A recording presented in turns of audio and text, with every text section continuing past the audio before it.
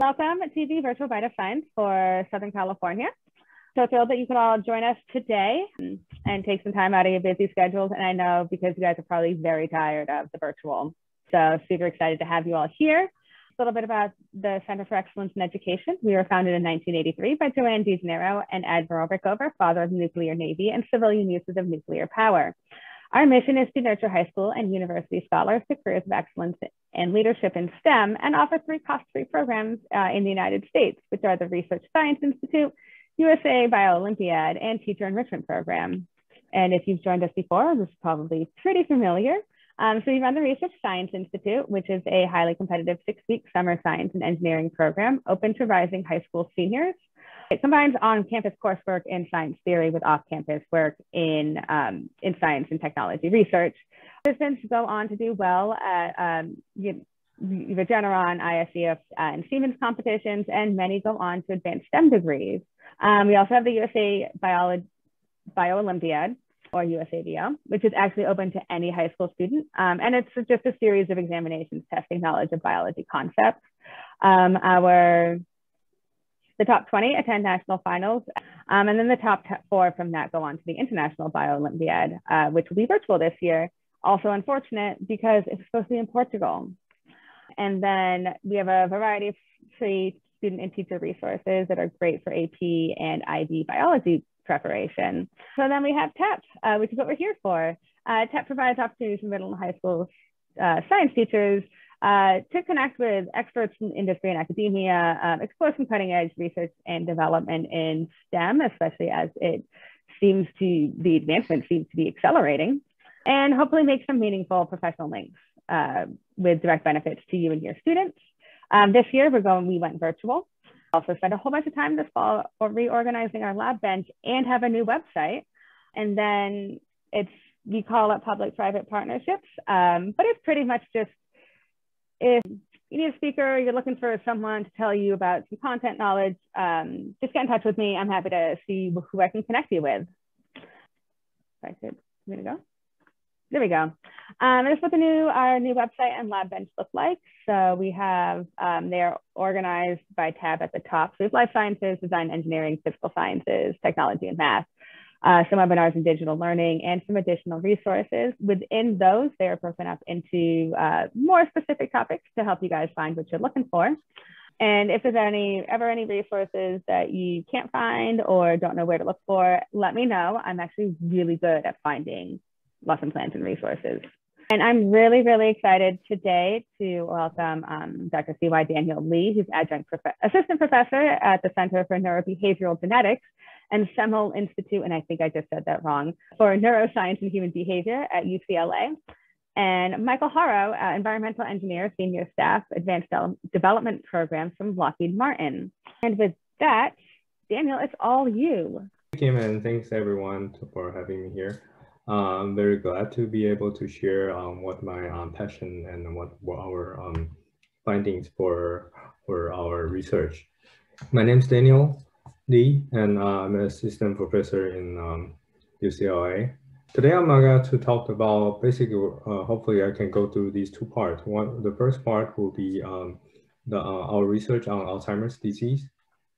And um, I think um, most of you, or not, if not everyone knows about Alzheimer's disease, it, which is, uh, um, it's a very devastating disease. And it's a, it's a it's a majority of the dementia in the elderly are Alzheimer's patients.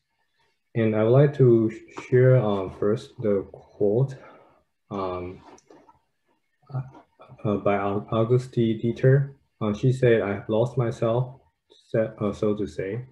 This is her response to the questions um, to her when she was asking um, multiple questions re repeatedly about what she has been doing and then she could not remember. And it was in her early 50s. She is the first um, Alzheimer patients being described. She sent, uh, she sent to uh, Dr. Alois Alzheimer in 1901 at the time. And then she, as I said, she was in her early 50s. So it, it is actually presenile dementia at the time. And it was very um, fascinating to Dr. Alzheimer. And he, um, he examined her and then, and then keep seeing her over years. And eventually she died at uh, 1906. And she's, uh, Dr. Alzheimer saw her um, disease progress very fast during those five years. After her death, her um, brain has been um, dissected. This is not her brain, but um, I just want to show you is how Alzheimer brain look like, and then this is uh, a normal brain look like.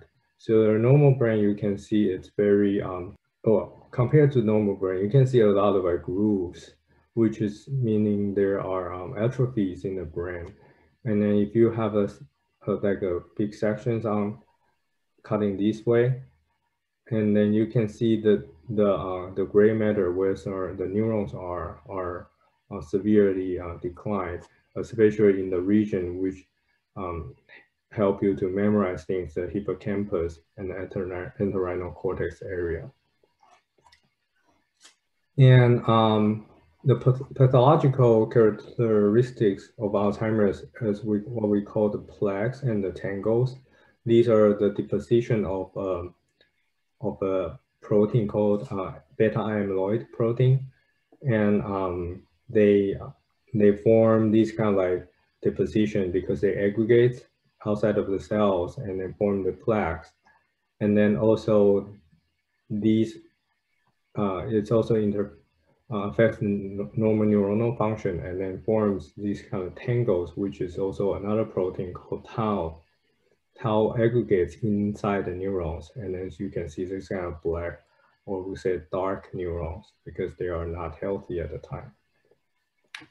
Um, so Alzheimer's disease is um, majority of them are sporadic, a very low percentage, um, less than 5% actually is one to, most likely one to 2% are familial. The, um, the way we call it familial, meaning they are um, purely genetic disease. They, if you have a mutation of certain gene, then you, you will get the disease. And th there's only very low population, small pop part of the population has that. And the gene has been uh, identified uh, on these on, uh, for this disease. And usually for this for early onset or familial Alzheimer's disease, they um the the beginning or, or onset of the disease is around like 50 years old or earlier. And the sporadic disease Alzheimer's usually the size 60, 70, 80, or even older. And many of these of the gene has been identified to um, to contribute this sporadic Alzheimer's disease. Um, so this plot I would like to share with you is, is the current um, population. You can see what we have around here. Um, it's a population of Alzheimer's patients and it increased dramatically over time if if we don't have any um, cure or uh, treatment for this disease. So currently it's like 5.2 millions in, in the States and um, the number will be doubled or if not tripled over time in 2050 if if um, the disease is not getting control. And currently, it's about 1% of the GDP goes to the uh, caregiving of Alzheimer's patients. And if, as I say, in 2050, that could be could reach $1 trillion. The single disease going to um, bankrupt the whole healthcare system. Um, so that's why it's it's it's a, a now it's a national effort. Um, we have um, a lot of Alzheimer research, um, including the NIH and also private sectors has a lot of um, fundings toward this disease because we try to find a, any treatment that can help the not only the patients but also the caregivers and uh, and the economy. Um, Alzheimer's disease is a it's a multi it's a it's, it's a multigenic disease. The the reason I say it's multigenic is because most of the Alzheimer's disease patients they are not having these three APP, PS1, and presenilin 2 um, gene mutation on these three proteins. Majority of the patients does not have this mutation. They have the others, but the others, the other gene mutation on the other genes does not give a, a hundred give you a hundred percent risk to get the, the disease. Um, so that's that's multigenic. Each one contribute a little bit, and then even and also your um, your age and also your uh, living styles and exercise will contribute to the to the uh, the onset of the disease. Um, so this plot shows like the uh, the frequency you see a very common ones are usually very low risk as um, you probably heard of, is called ApoE4. Uh, this is this is uh, um, the protein for the HDL, high density lipoproteins. So you probably heard about that with with the cholesterol levels in your blood. So that's ApoE4. This is this one is is a is a high high risk genes. If you have that, you will have you have like four times more chance to get Alzheimer's disease than the people does not have it. And then today what gonna talk, talk about is a, a gene called TREM2. This is a, a gene found recently, um, not that recently now, it was like 2013 um, by, uh, by two groups. They found this also uh, contribute a very high risk of Alzheimer's disease, even though they are very rare.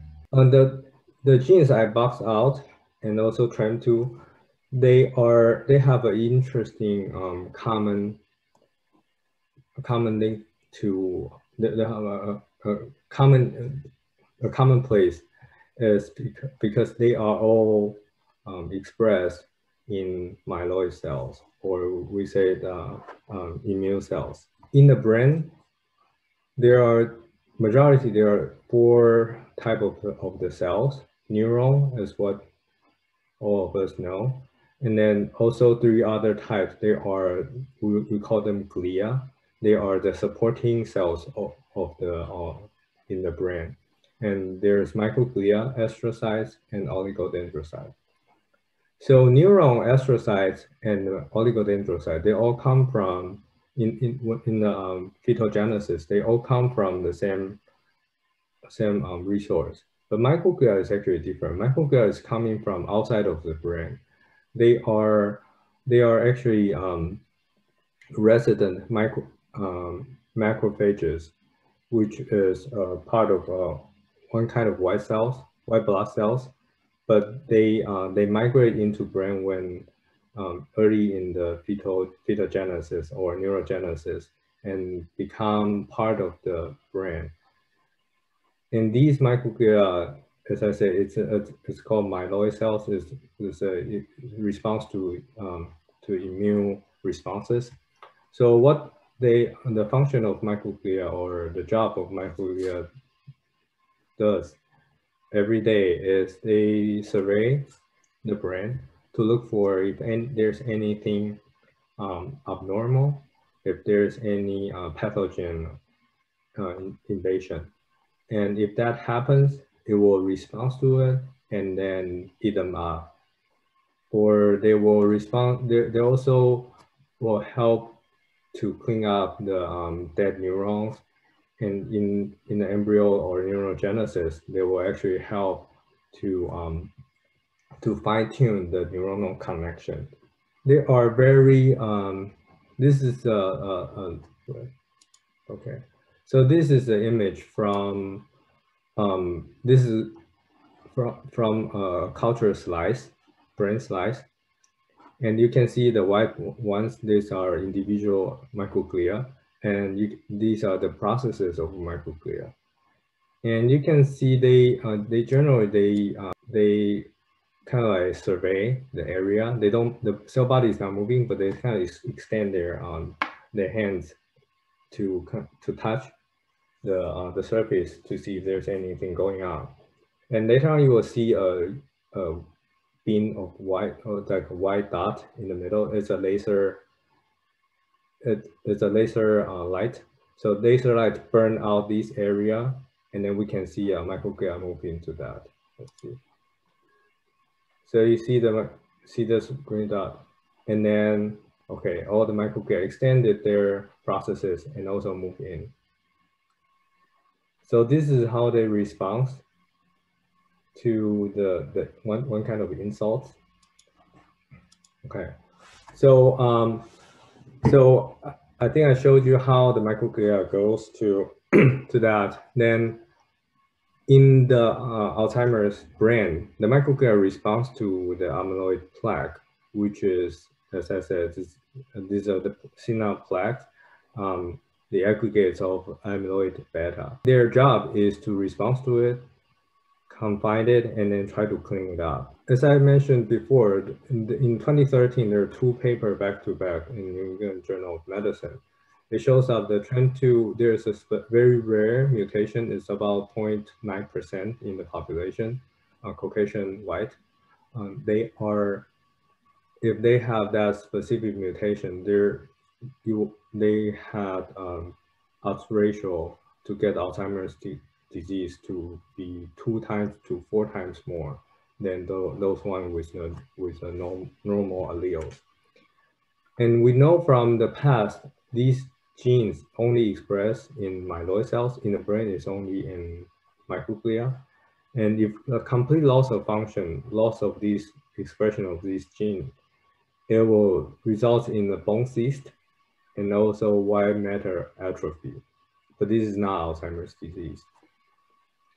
It's just like um, now we know it's, it's a partial loss of function of the TREM, TREM2 leads to um, the malfunction of of myeloid of uh, of microglia. Okay, so now we kind of know more about what's the function of the TREM2. This is just a diagram to show how the TREM2 interact with different uh, proteins in, in the cells. But I want you to look at these boxes. Um, initially, we know they are they are response to the uh, inflammatory responses. And now we know they, they kind of promote phagocytosis, that means you eat, they can eat uh, the, the A beta and, and other um, pathogens. And they also promote microglial survival. Uh, similarly, in, in the mouse model of Alzheimer's disease, if you take out the uh, knockout or TREM2 deficient microglia, then you can see how they respond to to the plaque, which shows in green. So the red one is the is uh, uh, microglia. You see when in the brain, if there are plaque, shows in green, then microglia responds to it. So it kind of circle it up, responds to it, try to eat it up or somehow confine it. But in the in the TREM2 knockout mice, the microglia doesn't seem to respond to it very well. Okay, so that that indicates the TREM2 may play an important role in in microglia response to these kind of plaque. And we know the plaque could be the key to um, solve Alzheimer's disease. So the question we were asking was, okay, can we increase uh, TREM2 expression and then can TREM2 expression increase will be neuroprotective against Alzheimer's disease. So what we did was to uh, introduce TREM2 into, uh, introduce an additional copy of TREM2 genes into the, into the mouse. By doing that, we can elevate the TREM2 expression in mice. And we'll see, then, then we, we um, just interrogate how these, how it, how they respond to the Alzheimer's disease phenotypes. So we found they, uh, they, it responds to the plaque very well. They kind of, you can see the green one, these are the, um, the plaques. they clear it better. So you have a reduction of the plaque. T2 is a, a TREM2. So a reduction of the plaque when the, when the mice overexpress or have more TREM2 express in the brain. And they also upregulate or increase microglial phagocytosis of the plaque. You can see that this is in the brain. You can see an increase of the um, of the phagocytosis using we're using the CD68, which is an indicator of, of the um, of the phagocytic activity. We see an increase of that, and also we can see that in the um, in the cell culture system, we also see the increase induction of the TREM2 uh, mediated increase of um, phagocytosis. And then the third one is we also we saw a reduction of the dystrophic neurites. So you can see in the, the plaque in the middle, when when neuron goes in, if there's a deposition of the plaque, then once the neurite goes in or in contact with it, it be, it become dystrophic, meaning they are not happy, they are not healthy in, in that microenvironment. So you will see a lot of like dystrophic neurite shows up in red here. But with the, the upregulation of TREM2 expression, now we see a reduction of that. Here is the statistics. And this, not just the pathology or pathological improvement, we also see um, this is one kind of testing we, we did for, um, for memory test, uh, of course in, in mouse. And they, they were, they call fear conditioning, meaning they put, they put into a contact, uh, basically it's a box. And underneath there are uh, grids. They can see around it. They, re they remember what the book box look like and the, the uh, pattern or the texture of the, of the box. And then they were in there, but they got shot, electric shock, very mild, but it's enough for, to shock them they remember. And so next time, next day, they when they bring into that box, because they remember, they will start to freeze. So that's how, how the freezing part comes in. So you, we measure the freezing um, that's meaning they, they know and then they kind of scare about the, the box. But the uh, 5XAD, uh, 5XFAD is uh, one kind of um, Alzheimer mouse model. They, you see a reduction of freezing. That means they don't remember. They, they, they kind of have wandering around and so they don't remember. But when we introduce more TREM2 into, into their brain, they, they remember now. They so this also helps them the, uh, another layer of, um, of, of the proof that increased TREM2 level can help. This one I want, want to show you is you can see normally microglia responds to a plaque.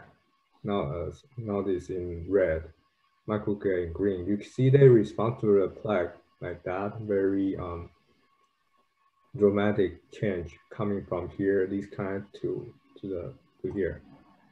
But if we when we introduce TREM2 to the to the brain, they look like these a little bit. Uh, they are not compared to the knockout uh, TREM2 knockouts or TREM2 deficient microglia. It is different because they still respond to it, but they tend to be less, we call it angry looking or very, or very reactive looking. They still surrounding it, respond to it more like a, a normal, not engaging, plaque engaging microglia. But they tend to be able to handle the plaque much better. And we, of course, we um, the, the strength of the lab is, is a systems biology. So we look at the, the whole panel of the gene expression in these mice. And, and then we identify these like TREM2 dependent gene cluster one and cluster two. These shows up the um, the TREM2 actually introduce a we call repro reprogramming effect of the of the microglia. And And uh, this is just a quick diagram to summarize what I've just been telling you.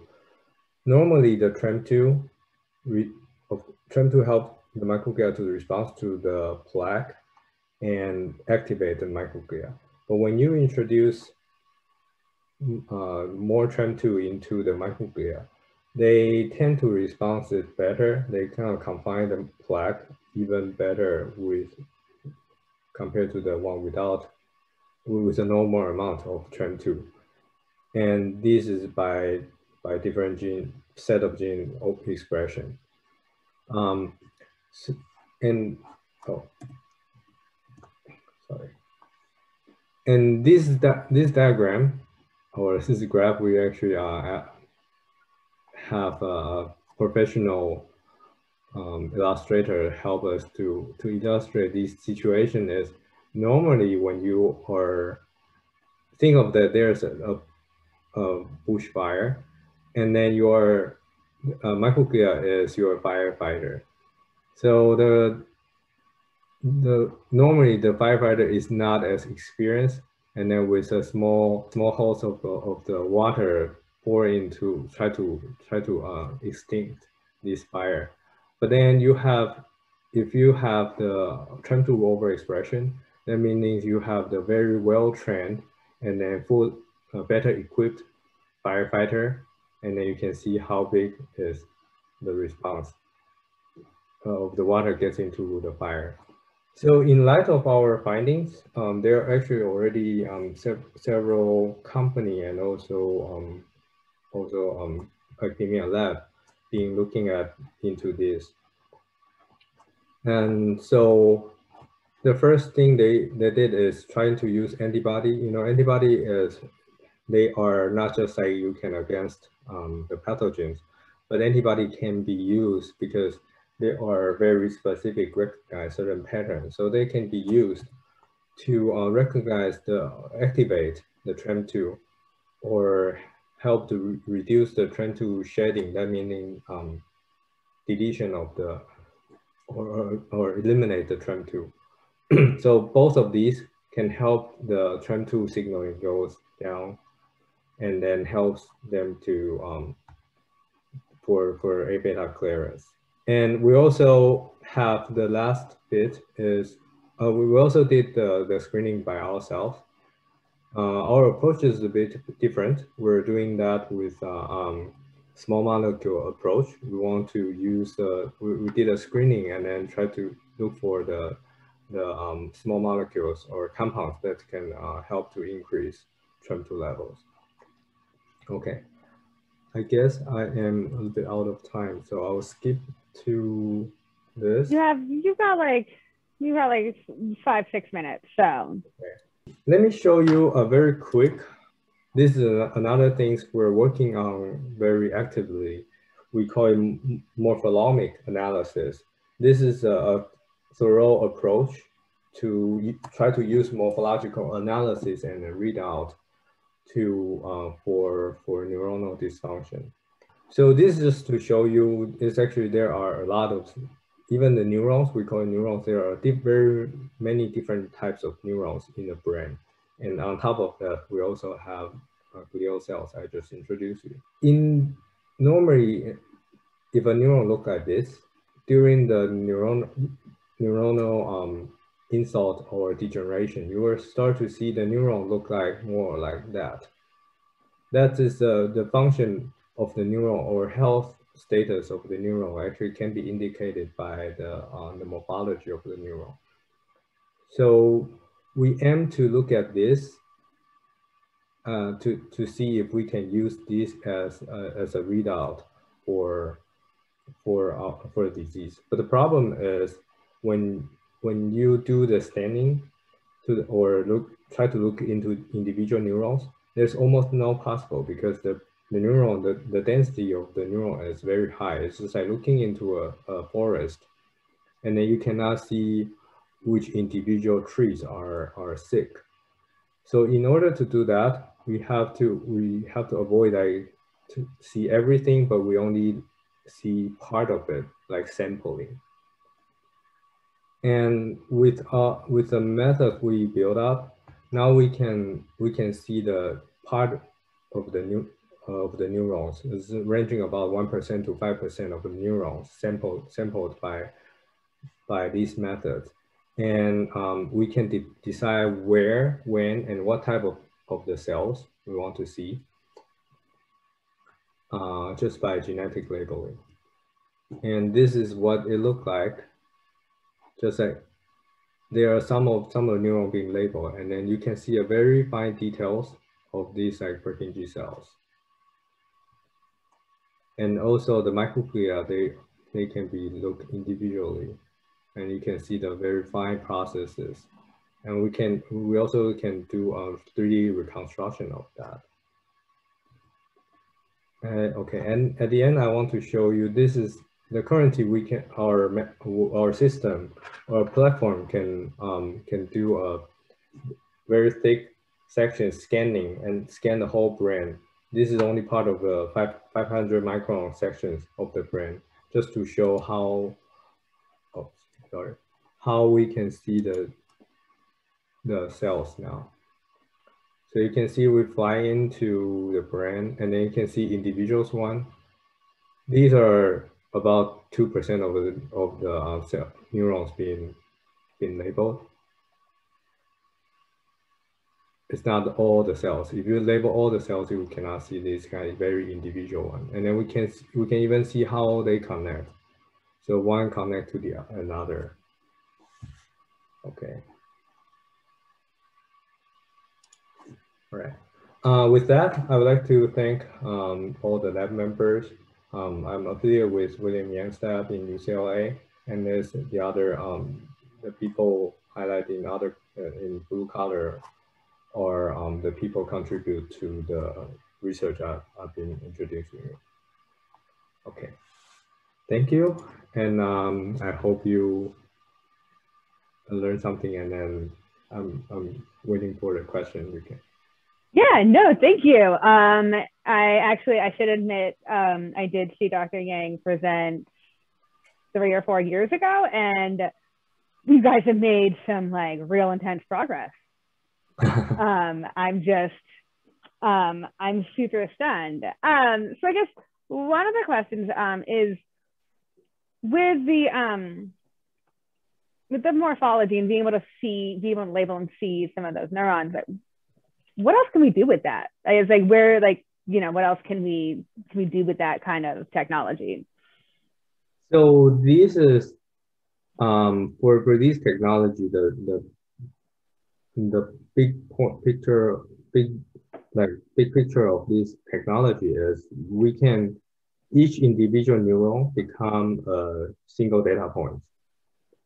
So usually when we do the study, we kind of like do overall, for example, overall neuronal activity, or we do a population wise to look at oh how how they look look how they perform as a population. But now we can look into individual cells, individual neurons, and also in we can look into different types of neurons at the time.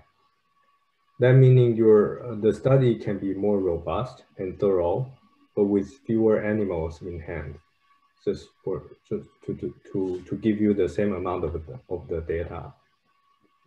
And the other thing is because we're looking at the um, morphology into this very fine detail, we are expecting to see uh, early changes in, in the morphology, which, which actually reflect to the, um, the cell status. Not no matter it's microglia or neuron or astrocytes, their the morphology change is one of the indication of how they how they respond. So we're we're we're trying to look at that to for the early signs, and for so this this one will help in a lot in the uh, animal study. Awesome. Um, and then okay. Oh, um, so another question how do you measure the stress that was given? Measure the what? The, the stress. So when you uh, were testing, yeah, how do you, like, how, yeah, how do you measure the stress? I, um, so that, that, that's a very interesting question. So that's that's always puzzles uh, animal researchers. Um, of course, you cannot. When, well, I always like to say when we study the disease, the best model is human being. But the problem is you cannot do any test on that that individuals, right? So we have to use surrogates, which is are the poor animals. They helps a lot. Um, but for for we always talking about the uh, um, conscious or the feeling. How how are you going to measure them? Um, it's it's always linked to the behavior we've been observing the the mice or other bigger animals, how they respond to, for example, the stress as you're asking or fear, um, or uh, or attention. So these these are these are things has been studied decades, and so we kind of know what what the, what are the stress means. So for for the study I showed, it was it was uh, the fear and the memory. So you you know you know that they remember because you, you they show the fear kind of the of the expression. Yeah, I hope okay. that. No, thank you. Um, and then follow up question. Um, sorry, multiple questions. So, uh, how can you compare the stress given to animals with kind of like normal, like you know, everyday human activities? The stress. Yeah, so like that fear stress response, like is how do you? There, there are actually methods to do uh, chronic stress. Um, one, one very common, common um, method of, of use is actually we call it bully test. So you actually have two, um, we have a bigger or older male mice, and then with another one which, which are younger. So usually they are smaller.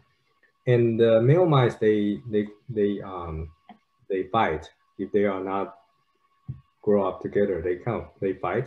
So we put the, the, those two together, but but not directly in contact. We have a, small window, so they kind of like can contact each other in that sense. And but they present over time, multiple days. So the the the smaller, weaker one being bullied. So that's that's one kind of stress, and then we can measure that uh, using other other um, behavior testing to look at, for example, how they when they go back to the home cage or explore the new cage, new, new environment, how they respond to that. And when we next time introduce another new mice, not the, the, the old big bullied one, but the uh, another neighbor, how do they respond? Do they still interact or they try to hide away?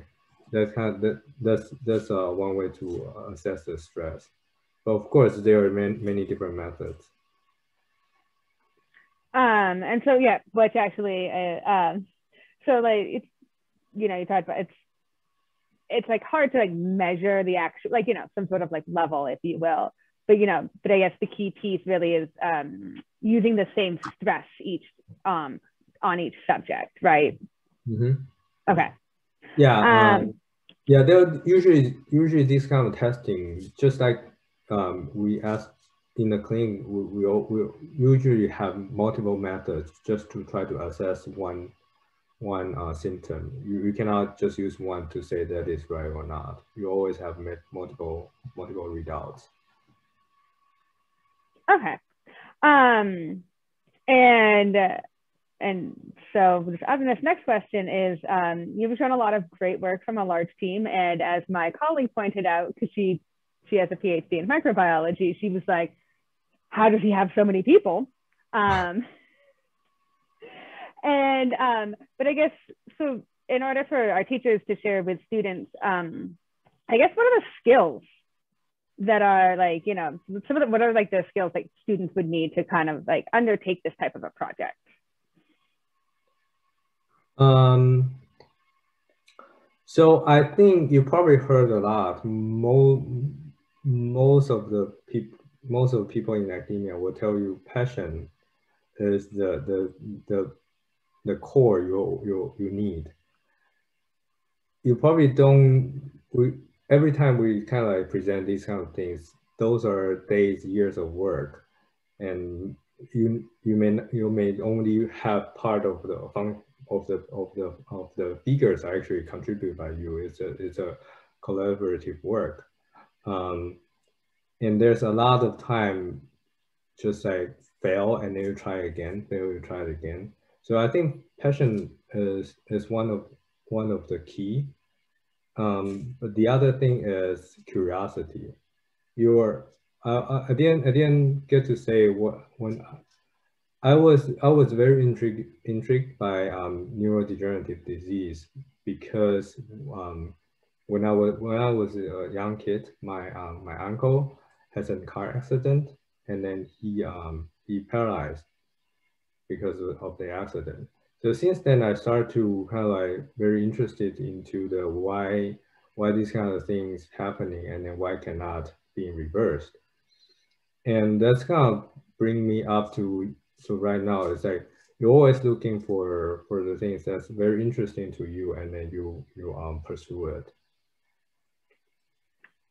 awesome and then one more question and we'll get to michael um so like i guess who's on your team because you got a lot of people um you know are there you know i know a bunch of people with phds but like if you have like what you have lab technicians data scientists you're working with um i know some people you know, partner with other labs to do, um, you know, if you're trying to do a gene knockout in a mouse, like, you know, sometimes your lab doesn't actually do it. You get someone else to do that for you.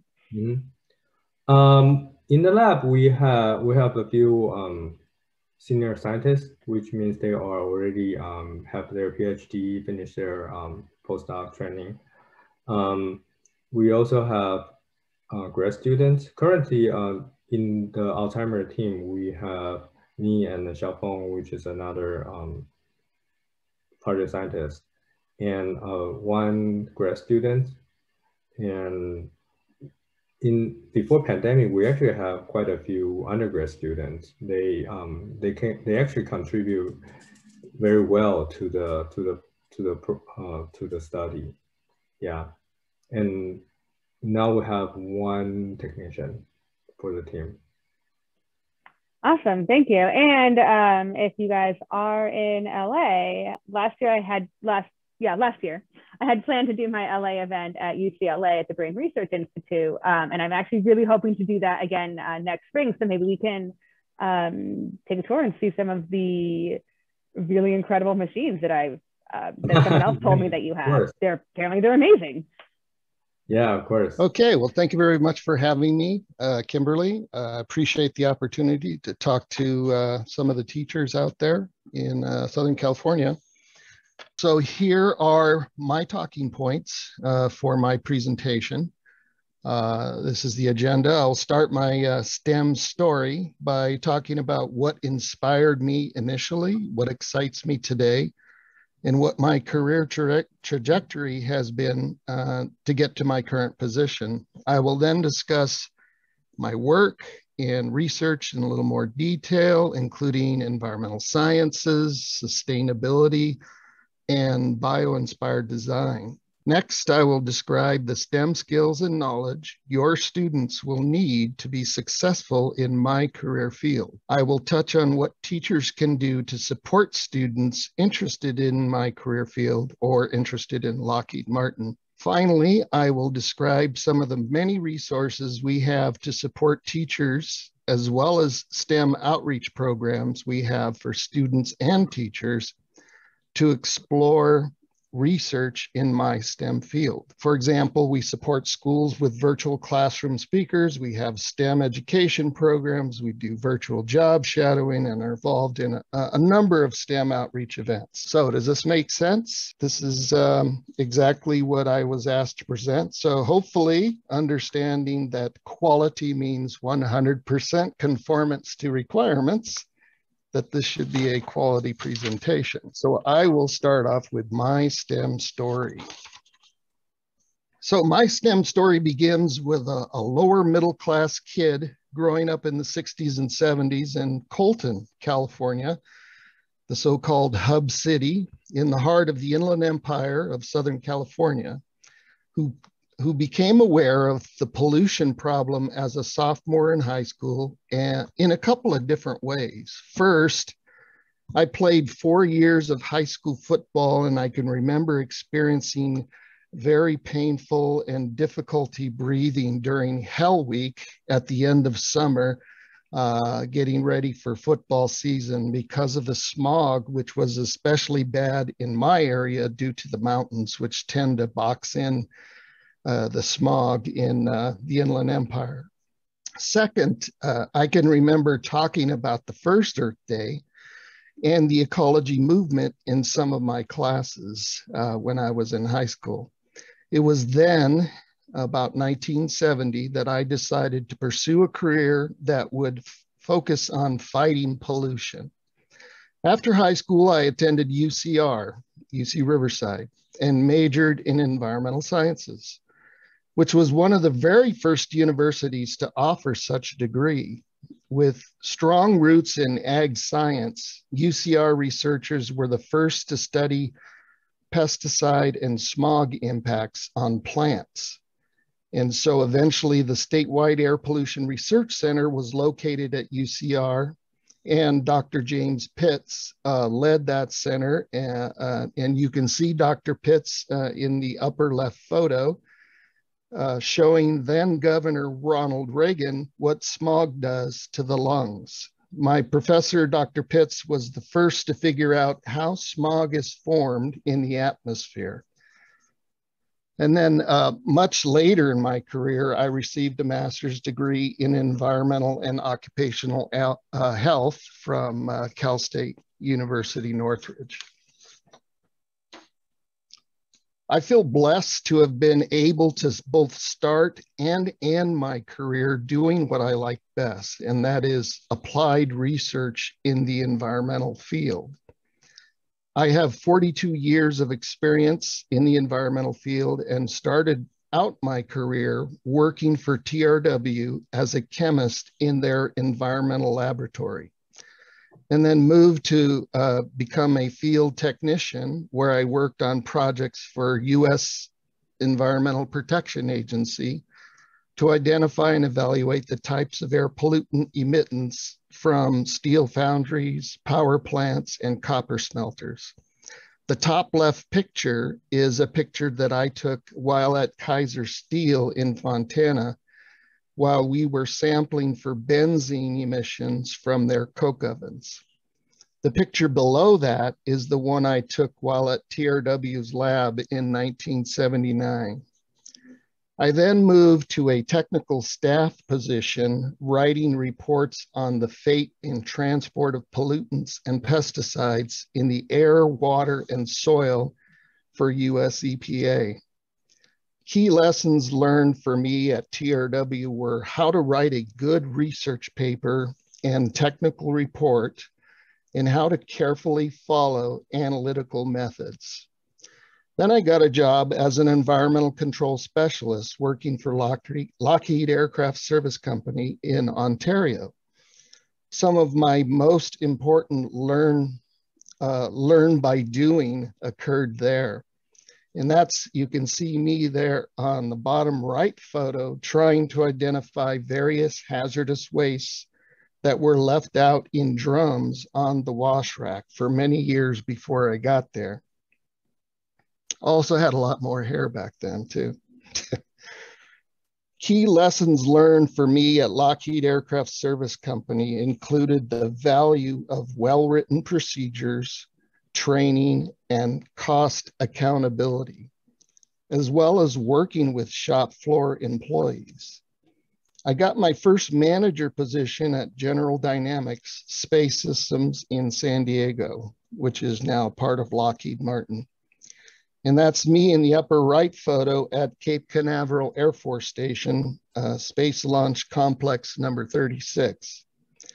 The key takeaway while at General Dynamics was learning the value of senior management leadership and support. From there, I went to work for Allied Signals Aerospace Headquarters in Torrance, California, where I was responsible for managing the environmental program for 26 divisions of the company at over 100 factory locations around the world. This was the shortest position I've ever held, getting burned out from all the travel in just two and a half years. In 1992, I began working for Lockheed Martin Skunk Works in Palmdale, California, and I've been there ever since. And that kind of leads to my current work in research, but uh, sorry about that. I guess you did not see. I didn't notice I had some animation there, so you missed that one photo. Anyway, before going there, I just wanted to say that a part of my STEM story is that on the personal side, I'm a huge science geek, Star Wars fan, and Disney fan. Yes, that's me with Bill Nye, the science guy in the center there. We spoke together in the same session at the very first Green Schools Conference in Pasadena. Also, of course, I have a big love for nature, which is kind, kind of leads into what I'm doing today.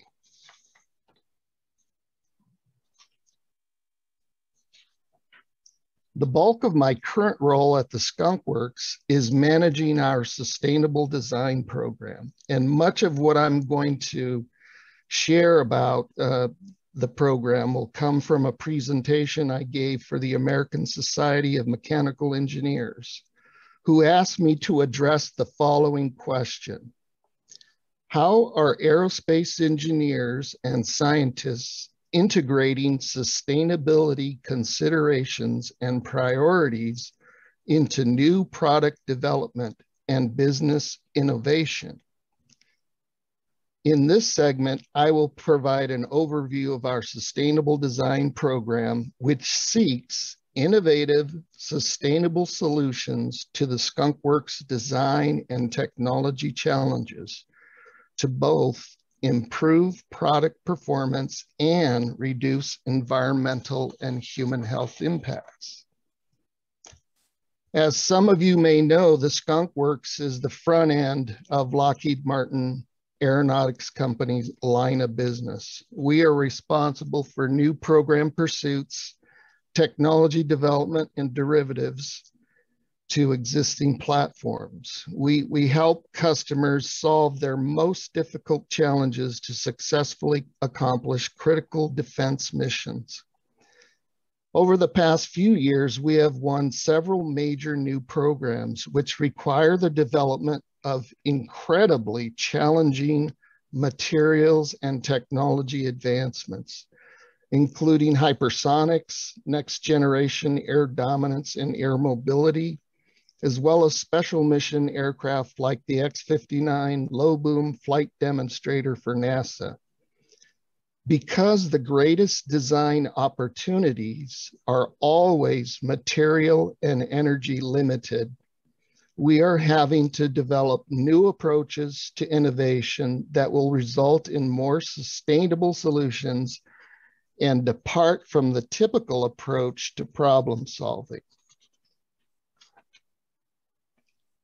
Lockheed has, has always maintained a very strong pollution prevention program for the past 20 years. Um, our focus for most of that time was on basic material substitution. For example, removing chromium and toxic solvents from our coatings. In 2018, we re revised our strategy and rebranded the program the mission of the Sustainable Design Program now is to spark innovative, sustainable solutions to technology, product, and operational challenges to both improve performance and reduce environmental and human health impacts. The Sustainable Design Program focuses on proof of concept seedling projects that have environmental benefits that are aligned with the company's technology roadmap. The Sustainable Design Program projects fall into five basic categories. One, using bio-inspired design and engineered biology to solve key design challenges. Using advanced technologies such as plasma, artificial intelligence, and nanotechnology focusing on renewable energy technologies and energy density challenges for aircraft, replacing chemical substances that are being restricted by the US and international regulatory agencies. And last, implementing Go Green projects that focus on reducing waste, water, and energy consumption. The Skunk Works has a strong interest in renewable energy technologies such as nuclear fusion. The, we've been working on nuclear fusion for the for the past uh, five plus years. And we recently broke ground on a 24 megawatt expansion to our one megawatt solar farm. So what is biomimicry or bio-inspired design? Bio-inspired design is an approach to innovation using nature's time-tested structures and functions at every scale, from nano to macro, and at every level, from simple form to ecosystem, to solve engineering challenges nature always selects the most material and energy conserving solutions. And from a survival standpoint, nature always makes sustainable use of the periodic table, avoiding elements that are toxic to living systems, thus leading to more sustainable designs.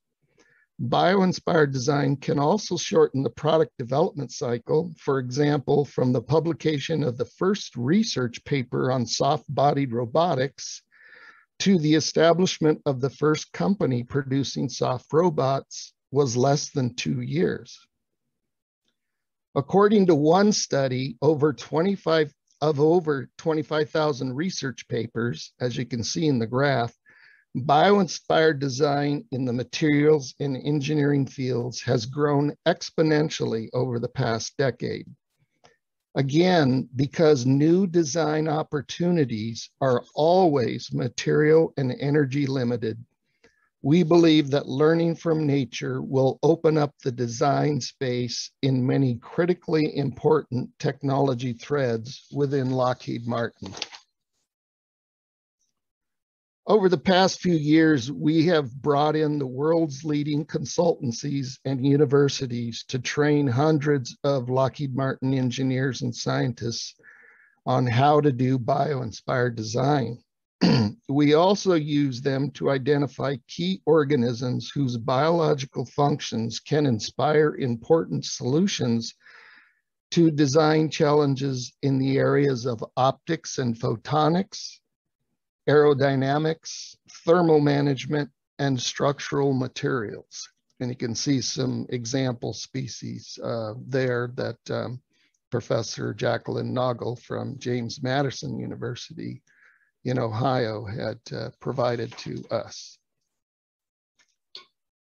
Although I can't go into a lot of detail regarding our bio-inspired design work, um, I want to show you some examples of the types of projects we are managing and some of the organisms we are taking inspiration from.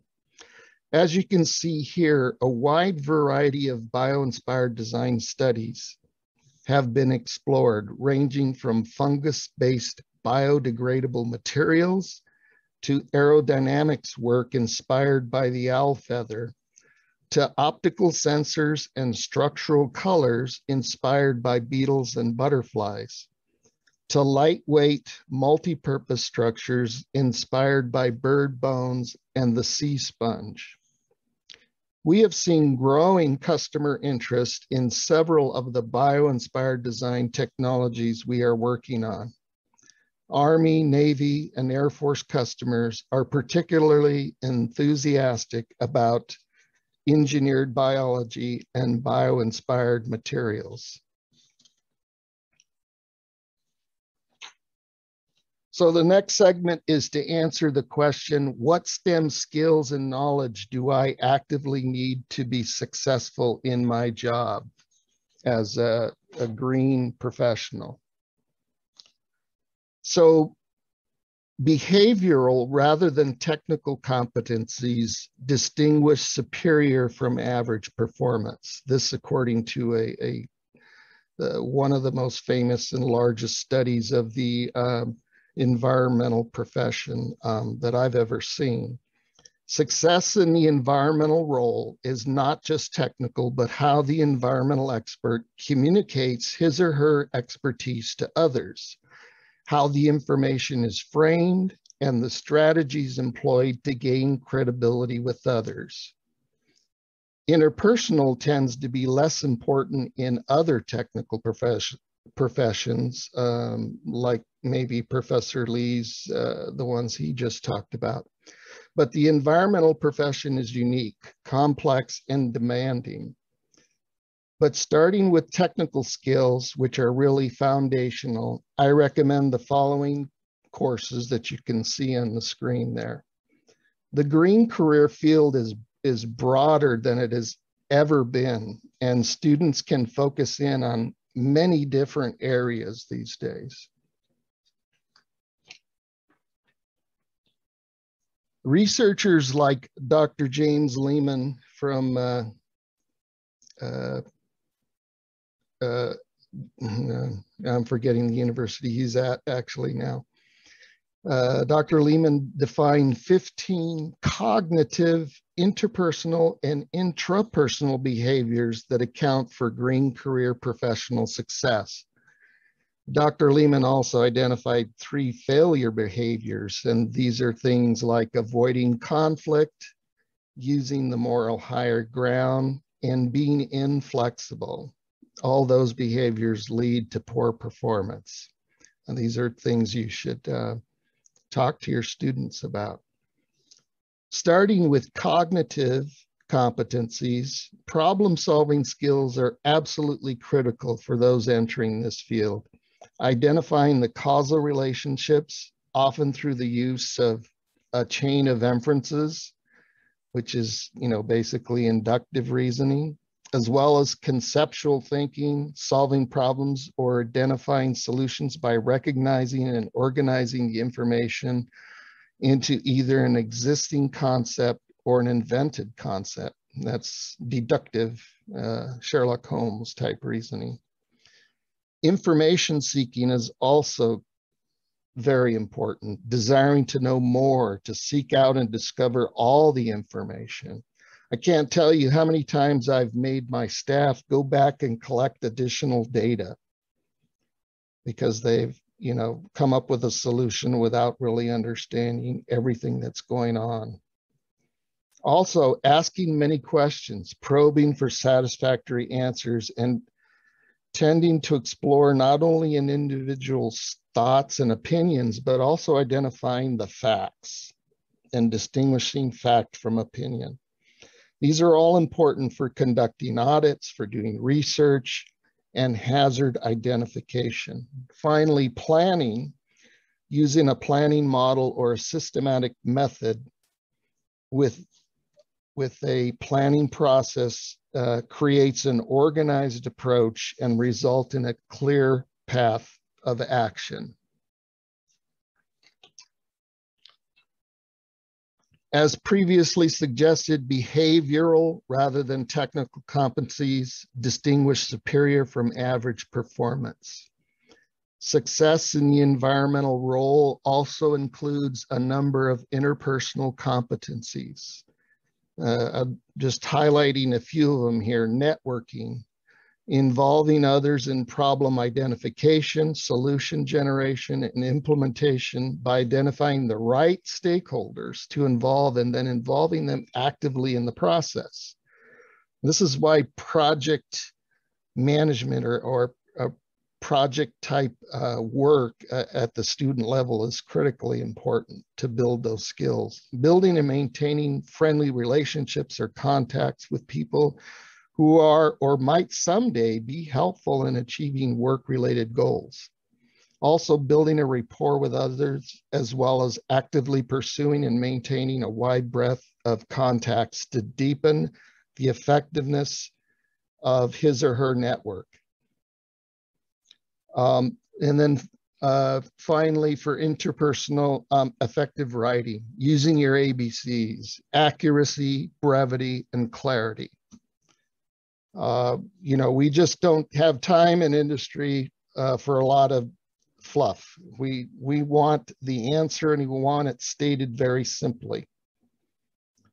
Um, and then finally, intrapersonal competencies. These are things that we try to pick up on during the interview process. Uh, achievement orientation, perseverance, self-control, integrity, common sense. These are also very important. As Yoda would say, control, you must learn control. Okay, so other advice, uh, know yourself, what you want, what you're good at, be flexible, open to new experiences, expand your computer skills, critically important today. Uh, programming, modeling, GIS, uh, you know, that's important for the student to pick up as many computer skills as possible. Uh, keeping up with the latest environmental trend, trends. There's a, a good website I included there. Uh, generalizing uh, is good, but choose a couple areas to really focus on in your student career. Getting certifications, advanced degrees as soon as practical. And then most important, real world, world experiences, internships, co-ops, uh, job shadowing. These are all very important uh, things for students to get on their resume. And another thing to keep in mind is the job descriptions for when your students graduate from college haven't even been written yet. So keep an open mind. Okay, so what can teachers do to support students interested in my career field or organization? Start by letting them know green careers are, very, are in very high demand because of expanding global regulations. I mean, you see it on the news every day, right? Growing uh, resource consumption, increasing scrutiny, uh, and societal expectations for corporations, uh, chemical liability, and then, of course, the big one, climate change. Another thing you can highlight for students um, is that uh, the average uh, salary for a green career is slightly higher than a lot of other science uh, fields. And it also is uh, in higher demand, as you can see here. And in particular, sustainability is drawing top dollar and top students from around the country. Uh, and there are lots of uh, programs, university programs at the uh, bachelor's and master's and PhD level that um, are now focused on sustainability. Finally, another thing you can do is to actually teach biomimicry in the classroom. Uh, most major universities have some sort of biomimicry or bio-inspired engineering course. Um, introducing biomimicry into the classroom bridges the boundaries between school and the real world for students. Biomimicry is an inherently interdisciplinary way of encouraging students to be observant of the complexity of the natural world and our interconnectedness to it. Rather than just to learn about living things, biomimicry requires us to learn from the natural world. Uh, the Biomimicry Institute has been the leader in bio-inspired design information and their website contains a wealth of information on the subject. And I've, I have a bunch of links that um, y'all can have. Um, their YouTube channel has really super excellent quality videos geared to high school students. Um, and they have a partnership with EcoRise to deliver curriculum uh, for high school um, students. Uh, it might be junior high as well. I'm not quite sure about that. Uh, nature's strategies challenge chemistry, physics, and biology students to look at nature as a mentor in order to solve sustainability challenges. Um, and one of the key things you can do is to use the Ask Nature tool as a field guide to the natural world. Uh, designed to draw the student's eye to whatever we can learn from nature, not just what we can learn about nature, but learn from them. The Ask Nature site recently received a major overhaul and now consists of four main sections, biological strategy, uh, with over 1,800 profiles of species, uh, innovations, um, uh, other successes, uh, successful case studies. Uh, now, uh, what's new is educational resources, tools for teachers and students to learn about and begin practicing biomimicry. And then fourth, collections, which are thoughtful essays that identify a theme, trend, or pattern emerging amongst biological strategies. Another thing I would point to is I just got finished judging the Youth Design Challenge. This is put on by the Biomimicry Institute. These are for these are teams of high school kids around the world uh, that do hands-on project-based learning uh, that provides uh, classroom and informal educators with engaging, really engaging framework to introduce bio-inspired design and inter and that interdisciplinary lens on science, engineering, and environmental literacy. Um, the picture on the lower left is uh, one of the uh, best done projects by uh, a high school team out of uh, Baltimore, Maryland. Um, and they're looking at uh, a, a design inspired uh, from a couple of different species to to reduce um, damage to estuaries from um, wave action from you know violent storms which are becoming more of the norm because of climate change. And so not only reducing the damage uh, uh, wave damage, but also providing habitat for, for certain species that live in that area. So that was a really excellent uh, job that they did. Also included a link to the Center for Learning with Nature. Uh, they also have some excellent curriculum for um, K to 12, actually. All right, so last question. Um, STEM resources, how am I doing on time? I got just a few minutes left.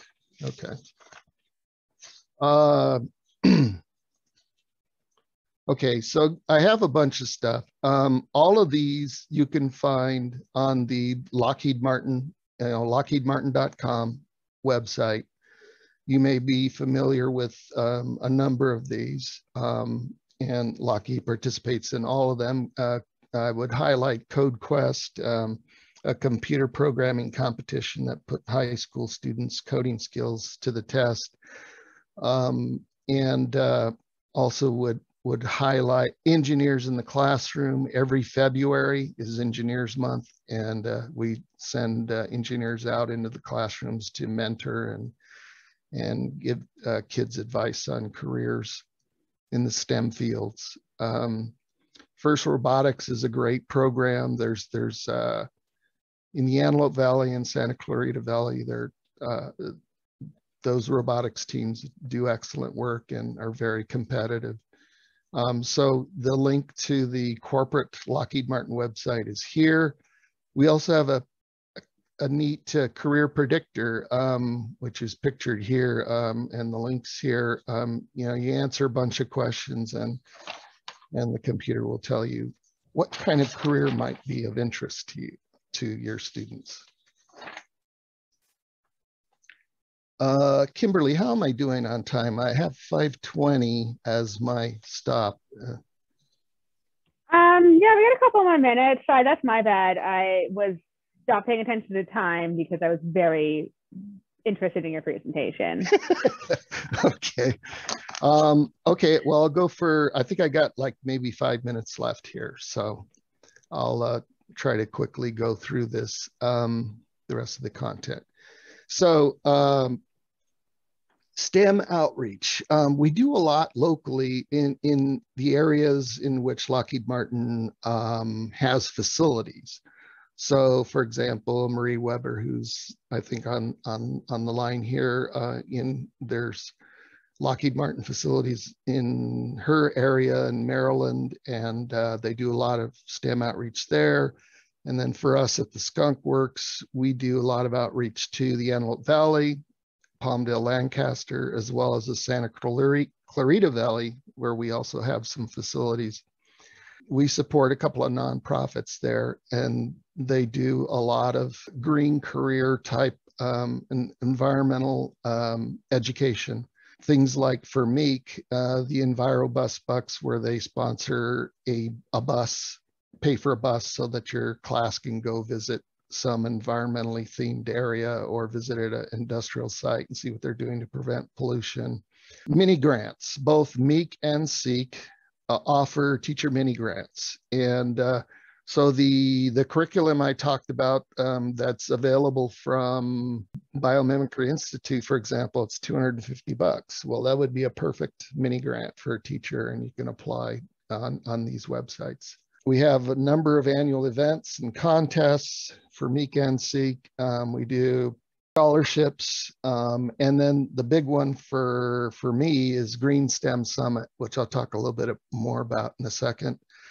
Uh, also, I have, um, because of COVID, I, I uh, had our team put together um, some virtual jobs shadowing videos um, that are on different green careers like air an air quality specialist or hazardous material specialist and so on.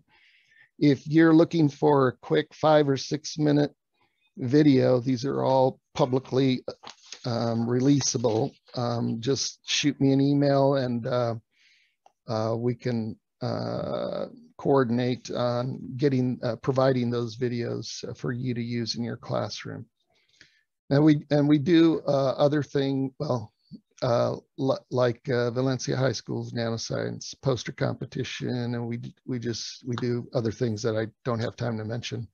But the, here's the list of the different topics um, uh, for virtual job shadowing. This is the Green STEM Summit. This this is held every October, and we invite. Uh, last year we had 90 STEM professionals, uh, a majority female. Um, you know, uh, more than a third were PhDs from industry, academia, government, and they talked about uh, natural and physical sciences, biomimicry, engineering, environmental, advanced manufacturing, a whole bunch of things. Uh, you can see the student responses. Um, it went over very well, um, and it's doing its job um, inspiring STEM careers. And just a couple of charts to show you the kinds of 15 minute presentations that were done, quite a variety of, of STEM topics. Uh, the theme being, you know, uh, using STEM to make a greener world. There's two pages to it and, and students can couldn't pick and choose. And the videos from all of these from last year are available on the SEEC website. That's my story. That's my STEM story, I should say. Awesome. Thank you so much. Um, yeah, we have, uh, we do have some questions. Um, but first, and I mentioned this to Marie, is so I've actually, I've actually seen like, I think you're the at least fifth Lockheed Martin presentation I've seen this year. Um, and I got to, and I'm just really enjoying the diversity of presentations. You know, so we had you, we've had someone talk about lasers, cybersecurity. Marie talked about uh, systems engineering, uh, and we actually, we ended up did have an aerospace engineer talk about helicopters for a bit. But I mean, I'm just really, it's Lockheed Martin just does so much stuff. More of a comment from my side. And then, so for a couple questions, one question we have is, I guess someone was interested in, um, do any of those STEM grants reach down to like the Long Beach Unified School District? If you go to, well, uh, some of the the local ones don't but um, if you if you are looking for funds for something in the la area go to the lockheedmartin.com website and and then uh, under stem activities um, you can click on cyber grants and and and you can apply for a grant that way. Awesome. Thank you so much. And then, all right, let's see what got for other questions. And I guess so. What's your favorite? I guess like biomimicry that you've seen at Lockheed Martin. Oh, that's a good question. I would say my favorite is just because of the species itself, the work we did to reduce propeller noise for unmanned aerial vehicles inspired by the uh, owl feathers. Uh, the, the, the, both the leading edge and trailing edge of an owl, uh, of an owl's wing has little tiny vortices that um, create or little tiny, uh, I guess, um, little triangles, I would say, that create vortices in the air that reduce drag. And they also reduce sound levels. So if you've ever seen an owl in flight, you don't hear them. No. Just the work we did to reduce propeller noise was was probably my favorite project. Oh, that's really interesting. I did see it on the chart and I was like, I wonder how that works. in terms of how do you see um, now you, you mentioned kind of like the problem solving critical thinking skills. How do you see that playing out in your work? Uh, well every day is a challenge. In this in the environmental field if you're working for uh, industry if you're working for government if you're working in academia uh, doing research i mean every day is a challenge and every day you're you, are you are faced with a new problem. And just having a good set of problem solving skills is just really important. In, uh, in industry, we, we do root cause analysis training for our employees so that they can, you know, get to the root cause of, of whatever problem they're dealing with. And so it's just something you've got to have in your toolbox to to do a good job because like I said, every every day there's a new problem you got to go figure out. So I guess along that theme, then, what was your what was the your most favorite problem you you've solved?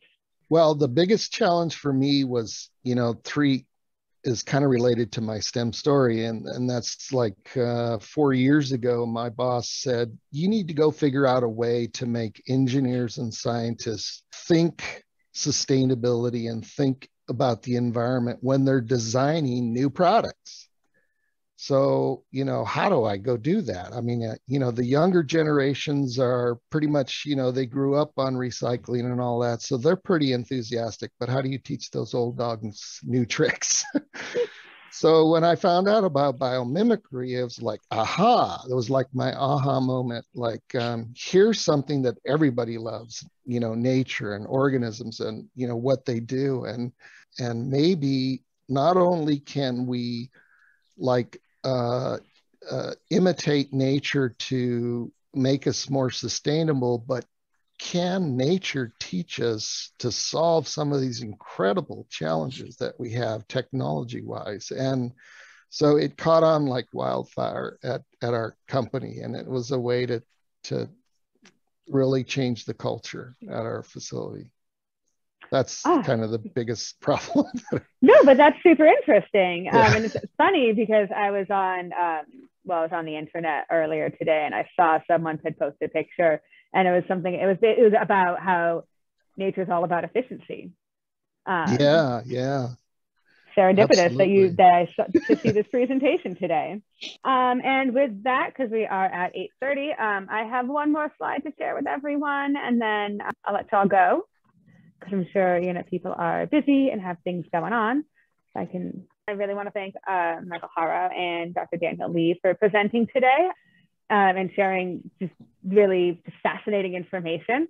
Um, I also need to thank our sponsors who bring, well, when we do in-person events, uh, which I'm actually very excited to go, go see some faces next year. You know, when we do in-person events um, and all of the resources, uh, we do all this for free for you guys. And we, you know, certainly could not do that without the help of our sponsors. And for this event, our sponsors are the Akamai Foundation, Amgen Foundation, Boeing, Hologic, KLA Corporation, Illumina Foundation, Infineon, Jacobs Engineering, Lockheed Martin, Nordson, Novartis Institutes of Biomedical Research, TC Energy, Vulcan Materials, and WestRock. Um, so all you teachers, uh, please, if you, you know, I know you're wrapping up the school year, but if you need some exciting activities, please let me know. I'm happy to look some stuff up for you, uh, send you what I can find. I'm here to help uh, however I can. Thank you. Thank you. Thanks a lot, Kimberly. Thank you very much. I gotta figure out how to end this. Great job. Yeah, are you ending the recording? Um, yeah, I am, but actually,